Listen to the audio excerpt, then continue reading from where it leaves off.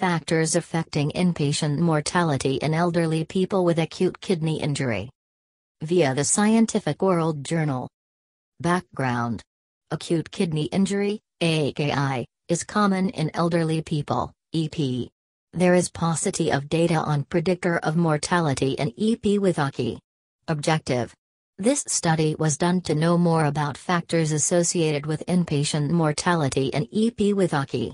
Methods we retrospectively reviewed medical records of patients aged 65 years or above hospitalized with a diagnosis of AKI at Aga Khan University Hospital, Karachi, between January 2005 and December 2010. Binary logistic regression models were constructed to identify factors associated with mortality in EP with AKI. Results 431 patients had AKI, with 341 79.1%, having stage I AKI, 56, 13%, having stage 2 AKI, and 34, 7.9%, having stage 3 AKI. Out of 431 patients, 142, 32.9%, died. Mortality increased with increasing severity of AKI.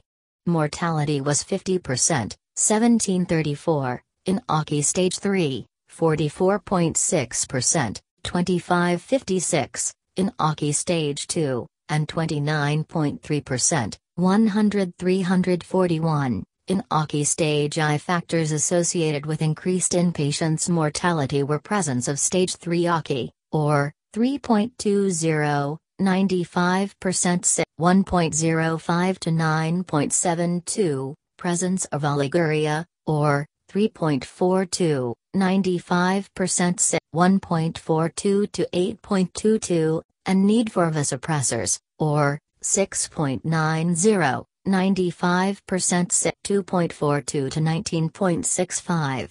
Median bicarbonate 18 versus 17 between those who survived and those who died was associated with less mortality, or 0.94, 95% 0.89 to 0.99.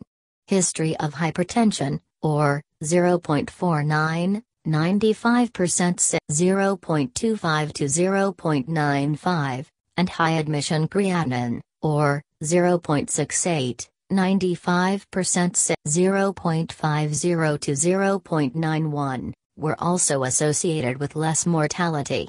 Conclusion Mortality in EP increases with increasing severity of AKI. Presence of stage 3 AKI, oliguria, and hemodynamic instability needing vasopressor are associated with increased mortality. Increased median bicarbonate, presence of hypertension, and high admission creatinine were various factors associated with decreased inpatient mortality.